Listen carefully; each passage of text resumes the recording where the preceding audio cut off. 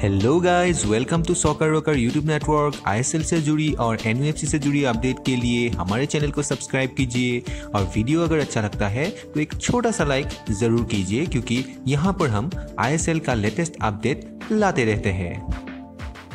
दोस्तों, उड़ीसा एफसी से न्यूज़ निकल के आया है कि उड़ीसा एफसी ने फॉर्मर एनयूएफसी के विंगर रिडीम तलांग को अपने टीम में शामिल कर लिया है। रिडीम करेंटली एफसी गोवा के तरफ़ से आईएसएल में मशक्कत कर रहे थे और एफसी गोवा से ही एक लोन डील के तहत उड़ीसा एफसी ने दिस आईएसएल सीज़न के लिए रिडीम को साइन किया है।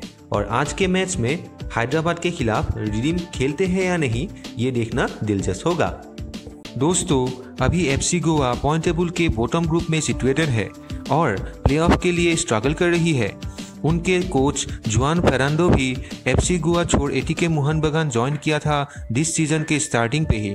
तो एफसी गोवा जैसे बेहतरीन टीम इस साल बहुत ही परेशानियों के बीच सफ़र कर रहा है। हालाँकि प्लेऑफ का मौका अब भी है, लेकिन उड़ीसा से पीछे पॉइंट टेबल में सिचुएटेड है।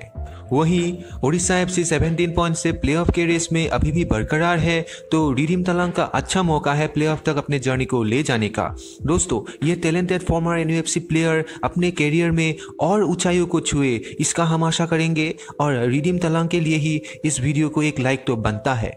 तो keep like the video and subscribe